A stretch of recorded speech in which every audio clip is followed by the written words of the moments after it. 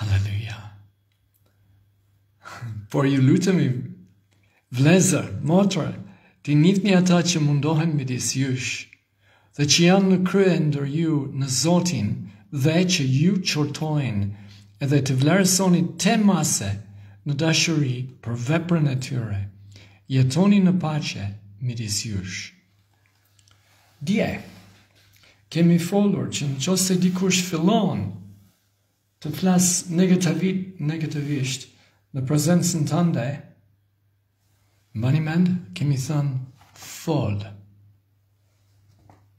Po, në qoftë se ata refuzojnë të ndalojnë së folurit negative Ne largohemi, po, ne largohemi, qoftë se jemi në tavolinë, për shembull.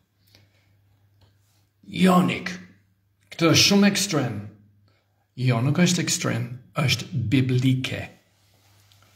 Dëgjoni Jezus Krishtin, kini kujdes vetën tuaj, nëse vëllai yt mëkaton kundër teje qortoje. Luka shtatëmbëdhjetë tre Po, Nik, ai nuk është duke mëkatuar kundër meje, është duke mëkatuar kundër pastorit.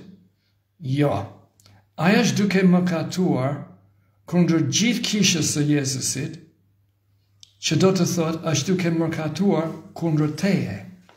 Si? Sepse Foljen e tij, fjalët e tij negative mund të infektojnë ty.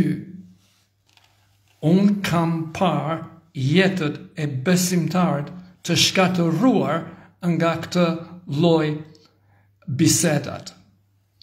Unë kam parë njerëzit që kanë humbur besimin e tyre për shkak të mos mungesë uniteti në kishë. Jo, këtë është një një temë shumë serioze për ty edhe për vlezërit dhe motrat.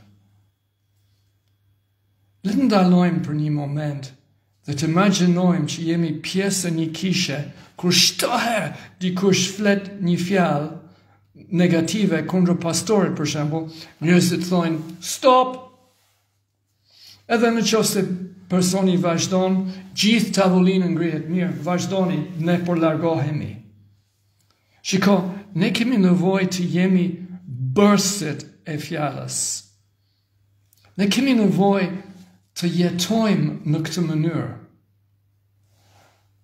Nganjëherë, ndoshta ju jeni duke protestuar akoma, jo, jo, Nik, ti nuk kupton, është miku im, është mikesha ime, jemi rritur bashkë, ose, o, oh, jo, ajo është ma e madhe sesa unë, ose, jo, jo, ai ka më shumë vite në kishë sesa unë. Në qoftë se ti nuk do të thotë gjë, nuk bën gjë, ti je duke ngritur veten tënde sipër fjalës së Zotit, që do të thotë sipër Zotit, ti je duke vepruar kundra mbrojtjen e kishës së tij. Le të lutemi, le të lutemi të shohim këtë gjë shumë qartë.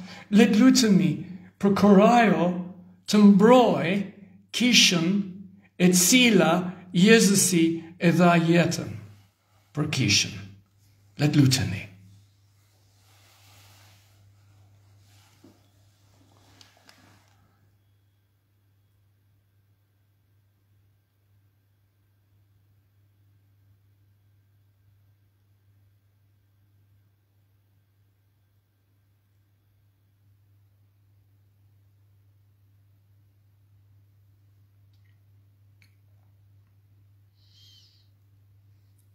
Vazhdoni në lutje dhe ju bekoj.